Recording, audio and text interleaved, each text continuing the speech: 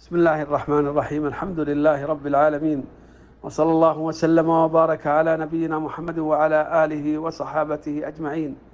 نسأل الله الكريم أن يتقبل منا ومنكم صالح الأعمال وأن يزيدنا وإياكم توفيقا وإحسانا. أيها الإخوة المستمعون في هذا اللقاء وهو اللقاء الرابع من دروس المسجد الحرام في شهر رمضان المبارك نتحدث عن الركن الثالث من أركان الإسلام وهو أداء الزكاة. أداء الزكاة هذا المال الذي امتن الله تعالى به علينا بفضله وكرمه وأكرمنا به فيه حق لله تعالى وهو أداء الزكاة. والزكاة ركن من أركان الإسلام وفرض فرضه الله تعالى على من وجد مالا لقوله سبحانه وبحمده وما أمروا إلا ليعبدوا الله مخلصين له الدين حنفاء ويقيموا الصلاة ويؤتوا الزكاة وذلك دين القيمة. وقال سبحانه وتعالى وأقيموا الصلاة وآتوا الزكاة وأقرضوا الله قرضا حسنا وما تقدموا لأنفسكم من خير تجدوه عند الله هو خيرا وأعظم أجرا.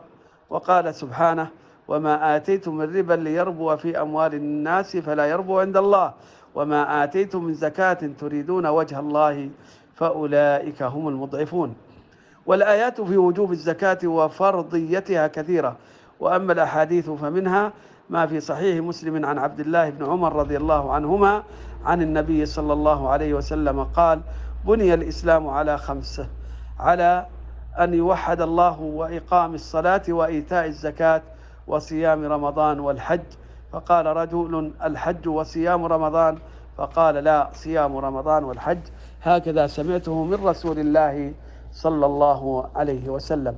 وفي رواية شهادة أن لا إله إلا الله وأن محمدا رسول الله الحديث بمعناه. فالزكاة أحد أركان الإسلام ومبانيه العظام وهي قرينة الصلاة في مواضع كثيرة من كتاب الله عز وجل. وقد أجمع المسلمون على فرضيتها إجماعا قطعيا فمن أنكر وجوبها مع علمه به فهو كافر خارج عن الإسلام من ومن بخل بها أو انتقص منها شيئا فهو من الظالمين المتعرضين للعقوبة والنكال. وتجب الزكاة في أربعة أشياء. الأول الخارج من الأرض من الحبوب والثمار لقول الله تعالى يا أيها الذين آمنوا أنفقوا من طيبات ما كسبتم ومما أخرجنا لكم من الأرض. وقوله سبحانه وآتوا حقه يوم حصاده. وأعظم حقوق المال الزكاة. وقال النبي صلى الله عليه وسلم فيما سقت السماء أو كان عثريا العشر. وفيما سقي بالنضح نصف العشر رواه البخاري. ولا تجب الزكاة فيه أي في الخارج من الأرض من الحبوب والثمار حتى يبلغ نصابا وهو خمسة أوسق لقول النبي صلى الله عليه وسلم ليس في حب ولا ثمر صدقة حتى يبلغ خمسة أوسق. رواه مسلم والوسق ستون صاعا بصاع النبي صلى الله عليه وسلم فيبلغ النصاب ثلاثمائة صاع بصاع النبي صلى الله عليه وسلم الذي تبلغ زينته بالبر الجيد 2040 جراما أي كيلوين وخمسة وخمسة عشرة وخمسة, وخمسة عشر الكيلو. فتكون زنة النصاب بالبر الجيد 612 كيلو ولا زكاة فيما دونها. ومقدار الزكاة فيها العشر كاملا فيما سقي بدون كلفة ونصفه فيما سقي بكلفة. ولا تجب الزكاة في الفواكه والخضروات والبطيخ ونحوها لقول عمر ليس في الخضروات صدقة وقول علي ليس في التفاح وما أشبهه صدقة ولأنها ليست بحب ولا ثمر لكن إذا باعها بدراهم وحال الحول على ثمنها ففيه الزكاة على ما سيأتي في أحكام الزكاة التجارة والمال. الثاني من أصناف أهل الزكاة بهي من أحكام في أحكام الزكاة التي تجب بها الزكاة بهيمة الأنعام وهي الإبل والبقر والغنم ضأنا كانت أو معزا. إذا كانت سائمة وأعدت للدر والنسل وبلغت نصابا وأقل النصاب في الإبل خمس السائمة هي التي ترعى أكثر الحول أو كامل الحول في المراعي الخارجية أي بأنها لا تعلف لا تعلف إنما ترعى من البر إنما ترعى من البر. فهذه هي السائمة. فإذا بلغت نصابا وجبت فيها الزكاة هذه الإبل والبقر والغنم من ضأن أو معز وأقل نصاب النصاب في الإبل خمس وفي البقر ثلاثون وفي الغنم أربعون.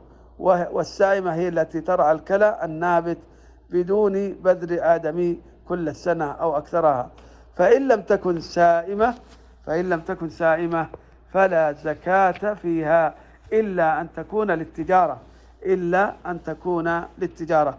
وإن أعدت للتكسب بالبيع والشراء والمناقلة فيها فهي عروض تجارة تزكى زكاة تجارة سواء كانت سائمة أو معلفة سواء كانت سائمة أو معلفة.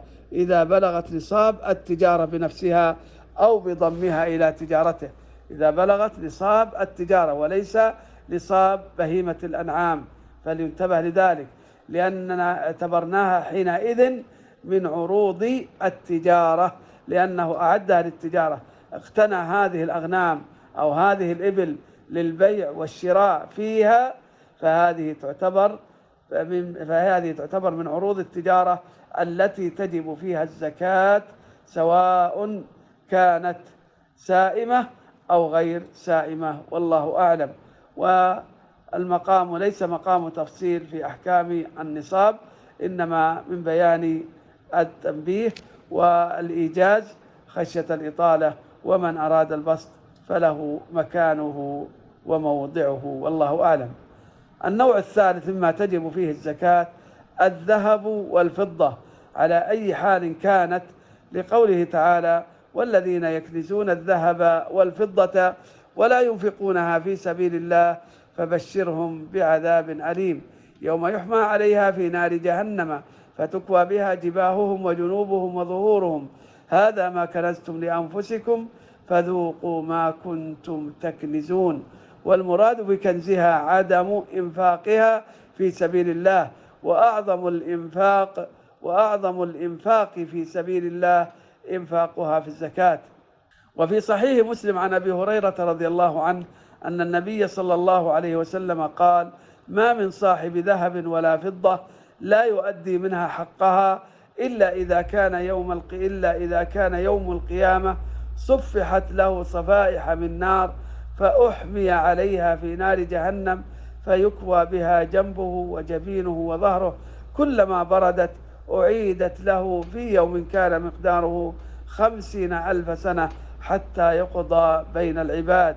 والمراد بحقها زكاتها كما تفسره الرواية الثانية ما من صاحب كنز لا يؤدي زكاته. الحديث وتجب الزكاة في الذهب والفضة سواء كانت نقودا أو تبرا أو حليا يلبس أو يعار أو غير ذلك.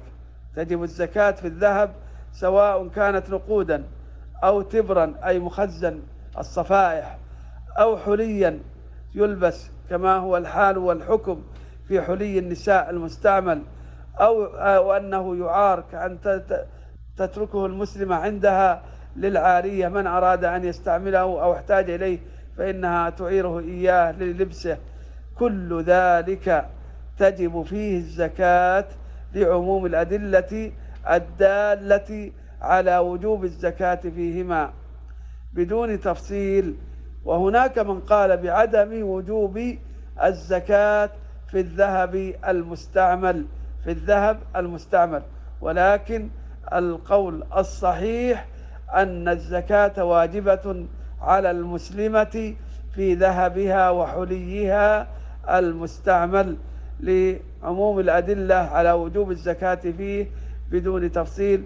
فعن عبد الله بن عمرو بن العاص رضي الله عنهما أن امرأة أتت النبي صلى الله عليه وسلم ومعها ابنة لها معها ابنة لها وفي يدها وفي يد ابنتها مسكتان غليظتان من ذهب أي سواران غليظان. فقال لها النبي صلى الله عليه وسلم أتعطين زكاة هذا؟ قالت لا. قال أيسرك أن يسورك الله بهما يوم القيامة سوارين من نار؟ قال فخلعتهما فألقتهما إلى النبي صلى الله عليه وسلم وقالت هما لله ورسوله. رواه أحمد وأبو داود والنسائي والترمذي.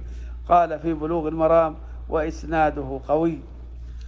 وعن عائشة رضي الله عنها قالت دخل على دخل علي رسول الله صلى الله عليه وسلم فرأى في يدي فتخاتم من ورق يأتعني من فضة. فقال النبي صلى الله عليه وسلم ما هذا؟ فقلت صنعتهن أتزين لك يا رسول الله؟ قال أتؤدين زكاتهن؟ قالت لا. أو ما شاء الله؟ قال هو حسبك من النار. أخرجه أبو داود. والبيهقي والحاكم وصححه وقال على شرط الشيخين. وقال ابن حجر في التلخيص على شرط الصحيح وقال ابن دقيق على شرط مسلم.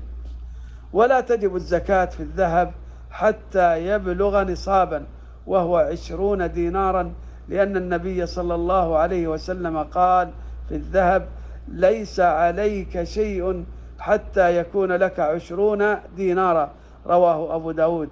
والمراد الدينار الإسلامي الذي يبلغ وزنه مثقالا وزنة المثقال أربعة غرامات وربع الغرام فيكون نصاب الذهب خمسة وثمانين غراما. يعادل أحد عشر جنيها سعوديا وثلاثة أسباع الجنيه. أي أن أن نصاب الذهب بالوزن المتعارف عليه الآن هو خمسة وثمانون غرام. خمسة وثمانون غرام. فإذا ملكت المسلمة ذهبا زينته خمسة وثمانون غرام فأكثر وجبت الزكاة وجب الزكاة هذا الذهب كاملا. وطريقة إخراج الزكاة للذهب أن تقيمه بقيمته السوقية وقت وجوب الزكاة. وقت وجوب الزكاة تنظر ما قيمته ثم تخرج الزكاة من القيمة بمقدار اثنين ونصف المئة. فلو أن المسلمة مثلا قيمت هذا الذهب بعشرة آلاف ريال بعشرة آلاف ريال جميع ذهبها قيمته بعشرة آلاف ريال فإنها تخرج اثنين ونصف المئة أي مئتين وخمسين ريال. هذا هو زكاة ذهبها المقيم بعشرة آلاف ريال. ويكون تقييمه كما أسلفت في وقت إخراج الزكاة في وقت إخراج الزكاة. ولا تجب وتجب الزكاة في الفضة إذا بلغت نصابا أيضا. الفضة تجب فيها الزكاة لكن بشرط أن تكون نصابا وهو خمس أواق. لقول النبي صلى الله عليه وسلم في ليس فيما دون خمس أواق صدقة متفق عليه. والأوقية أربعون درهما إسلاميا فيكون النصاب مئتي درهم إسلامي والدرهم سبعة أعشار مثقال فيبلغ مئة وأربعين مثقالا وهي خمسمائة وخمسة وتسعون غرام. نصاب الفضة بالميزان المتعارف عليه الآن الغرامات هو خمسمائة وخمسة وتسعون غراما. خمسمائة وخمسة وتسعون غراما. ومقدار الزكاة ربع العشر أيضا وبمقدار اثنين ونصف. أي إذا كان عندك ذهب وكانت زينته خمسمائة وخمسة وتسعون غراما فأكثر فإنك تعتبر حينئذ مالكا للنصاب مالكا للنصاب فتخرج الزكاة وذلك بأن تقيم هذه الفضة بقيمتها السوقية وقت وجوب الزكاة وتخرج الزكاة من قيمتها وتخرج الزكاة من قيمتها. فإذا قلنا لديك فضة بمقدار عشرة آلاف ريال كما في حال الذهب مثلا كما في مثال الذهب فإنك تخرج حينئذ ربع العشر ربع العشر عشرة آلاف مئتين وخمسين ريال. هذه هي الزكاة الواجبة 250 ريالا. وتجب الزكاة في الأوراق النقدية لأنها بدل من الفضة فتقوم مقامها فتقوم مقامها. إذا الآن المستعمل لدينا هي الأوراق النقدية. ما نصاب هذه الأوراق النقدية؟ نصابها مرتبط بنصاب الفضة. فإذا ملكت مبلغا تستطيع أن تشتري به نصاب الفضة وهو خمسمائة وخمسة وتسعون غرام من الفضة فأنت حينئذ مالك لنصاب الدراهم النقدية. فأنت مالك لنصاب الدراهم النقدية. فلو قلنا الآن أن الغرام الفضة بواحد ريال لنفرض أن نصاب الفضة بريال واحد. أن إذا قلنا أن غرام الفضة بريال واحد ونصاب الفضة 550 أي 550 595 ريالا. نصاب الفضة 595 غراما. فإذا كان الغرام بريال فأنت الآن تكون مالك 595 ريالا.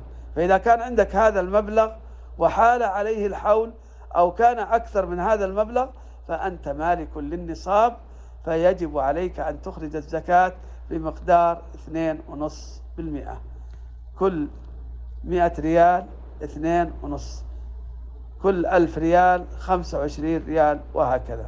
وتجب الزكاة في الذهب والفضة والأوراق النقدية سواء كانت حاضرة عنده أم في ذمم الناس وعلى هذا فتجب الزكاة في الدين الثابت سواء كان قرضا سواء كان قرضا أم ثمن مبيع أم أجرة أم غير ذلك. إذا كان الذي عليه الدين الذي في ذمته الدين مليء وباذل فيزكيه مع ماله كل سنة أو يؤخر الزكاة حتى يقبضه ثم يزكيه عن كل سنة مضت من السنين الماضية التي بقيت عند هذا المليء فإن كان الدين عند معسر أو مماطل أي ممانع من الأداء يصعب استخراجه منه فلا زكاة فيه حتى يقبضه فيزكيه سنة واحدة سنة قبضه ولا زكاة عليه فيما قبلها من السنين ولا زكاة عليه فيما قبلها من السنين لأنه لأنه يعتبر في حكم المال المعدوم خلال السنوات الماضية. هذا المال الذي لدى المعسر أو هذا المال الذي لدى المماطل لا تزكي كل سنة لأنك ما تعلم هل ستقبضه أم لا. فيعتبر في حكم المال المعدوم. فإذا قبضته فإنك تخرج الزكاة لسنة واحدة حال قبضه في حين قبضه تبادر بإخراج الزكاة. والله أعلم. أما بالنسبة لمن يضع ماله في الأسهم فإن هذه الأسهم على حالين. إن كان وضعها لأجل أن يتاجر فيها ينظر إلى السوق متى ارتفع باع ومتى انخفض شرى وهكذا فهذا يعتبر من عروض التجارة التي سيأتي بيانه فإنه يخرج الزكاة في ماله حال تمام الحول على هذا المال. أما إن كان ممن اشترى أسهما ولا يريد البيع والشراء فيها إنما يأخذ الأرباح فقط. إنما يأخذ الأرباح فإن الزكاة لا تجب في رأس المال وإنما تجب في الربح الذي يتحصل عليه. وإنما تجب في الربح الذي يتحصل عليه. فأما الذي وضعها فأما إن كان وضعها لقصد المتاجرة كما أسلفت فهذه عروض التجارة ويجب عليه أن يخرج زكاتها حال تمام الحول. ولا تجب الزكاة فيما سوى الذهب والفضة من المعادن وإن كان أغلى منها إلا أن تكون للتجارة فيزكي فيزكيها زكاة تجارة. الرابع مما تجب من الأموال التي تجب فيها الزكاة عروض التجارة وهي كل ما أعد ما أعده المسلم للتكسب والتجارة من عقار وحيوان وطعام وشراب وسيارات وغيرها من جميع أصناف المال. فهذه التي أعدها للتجارة يقومها كل سنة بما تساوي عند رأس الحول. ويخرج ربع ويخرج ربع عشر قيمتها أي اثنين ونصف بالمئة من قيمتها. سواء كان قيمتها بقدر ثمنها الذي اشتراها به أم بأقل أم بأكثر. فإنه يجب عليه أن يقيمها وقت وجوب الزكاة بسعر السوق. بسعر السوق ويخرج الزكاة ويخرج الزكاة من القيمة. ومثل المحلات التجارية محلات الملابس محلات السوبر ماركت والبقالات عليه أن يحص أن يحصر بضاعته أن يحصر بضاعته التي في محله وقت تمام الحول ويخرج الزكاة من إجمالي القيمة بسعر السوق بسعر البيع وليس بسعر الشراء. وليس من حق أن يقول هذه البضاعة ما شريتها إلا من فترة وجيزة لأن مال هذه البضاعة كان في بضاعة سابقة اشتريتها من قبل وهكذا هو الحال. كلما باع اشترى فإنها تعتبر عروض التجارة أي أنه يتاجر بها ويعرضها للتجارة فتجب الزكاة عليه في تمام الحول وذلك بأن يقيمها بسعر سوقها وقت وقت وجوب الزكاة ويخرج الزكاة بمقدار ربع العشر. وعليه أن يتقي الله وأن يحصرها ويحصيها إحصاء دقيقا شاملا للصغير والكبير. ولا زكاة فيما أعده الإنسان لحاجته من طعام وشراب وفرش ومسكن وحيوانات وسيارات ولباس سوى حلي الذهب والفضة لقول النبي صلى الله عليه وسلم ليس على المسلم في عبده ولا فرسه. صدقة متفق عليه. ولا تجب الزكاة فيما أعد للأجرة من عقارات وسيارات ونحوها وإنما تجب في أجرتها إذا كانت نقودا وحال عليها الحول أو بلغت نصابا بنفسها أو بضمها لما عنده من جنسها. لكن إذا كانت الأجرة قد حلت على المستأجر من سنة لأن حول حول الأجرة من بداية العقد وليس من تاريخ القبض. فإذا كنت أخي وقعت العقد. معه في تاريخ واحد واحد مثلا. ولكنه لم يسلمك الأجرة إلا بواحد واحد من السنة القابلة. من السنة القابلة. نقول لقد حال الحول على هذا المبلغ. لقد حال الحول على هذا المبلغ. ويجب عليك أن تخرج الزكاة. وليس لك أن تقول لم أقبضه إلا الآن ولا أزكيه إلا بعد تمام الحول. فهذا غير صحيح لأنه قد لأنك قد ملكته بوجوب العقد أي بتوقيعك للعقد. فحينئذ ما دمت قد ملكته بالعقد فأنت إذا تأخرت في استلام الأجرة وأنظرته كرما منك وأنظرته كرما منك فحينئذ الزكاة واجبة لتمام الحول بتمام بتمام بذلك. وأما بالنسبة للموظفين الذين يرد إليهم الزكاة في أموالهم الذين ترد إليهم الرواتب وليس لهم دخل آه، مدخر ثابت إنما ما يرد إليهم في هذه آه، من هذه الرواتب يدخرون ما شاء وينفقون ما شاءوا ولربما ادخروا في هذا الشهر ولم يدخروا في الشهر الآخر ونحو ذلك. ولا يعلمون ما الذي تم عليه الحول ولا الذي لم يتم عليه الحول. فأقول لهم إن أمثال هؤلاء الموظفين أو من يرد إليه أموالا من أقساط آه، من أقساط حلت على آخرين. فأقول من باب التيسير له والتسهيل والضبط والدقة أن عليك أخي الكريم أن تحدد يوما معينا من أيام العام الهجري وتخرج وتحصي مالك الذي عندك مما قبضته قبل والذي قبضته من قريب. تحصيه كاملا وتخرج زكاته وتخرج زكاته كاملة.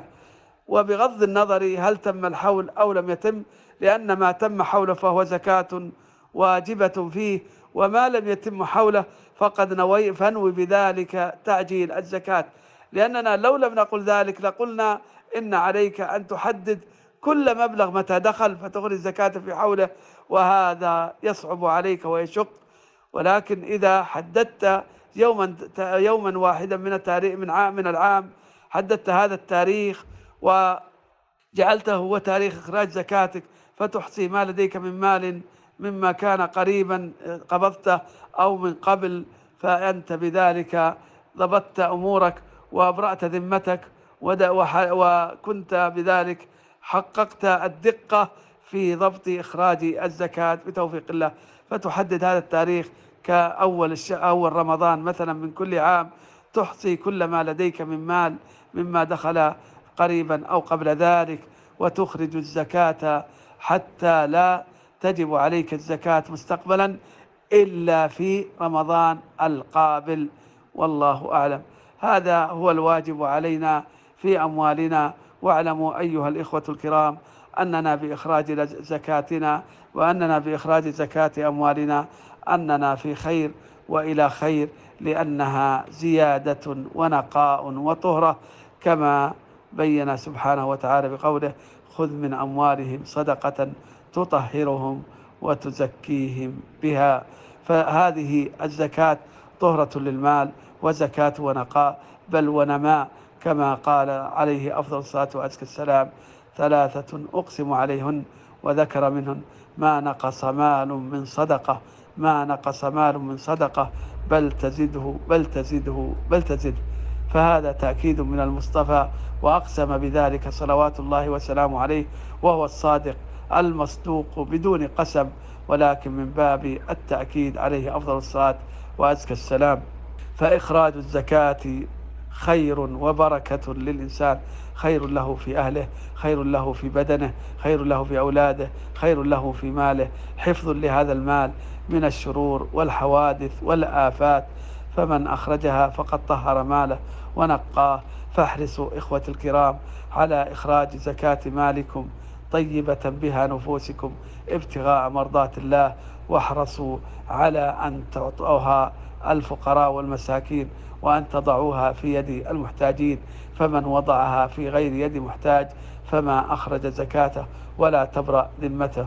نسأل الله الكريم أن يتقبل منا ومنكم صالح الأعمال وأن يزيدنا وإياكم من فضله وكرمه وأن يجعلنا وإياكم من أولياء المتقين الذين لا خوف عليهم ولا هم يحزنون. وأن يتقبل منا ومنكم صالح الأعمال وأن يتقبل الصيام والقيام والصدقات.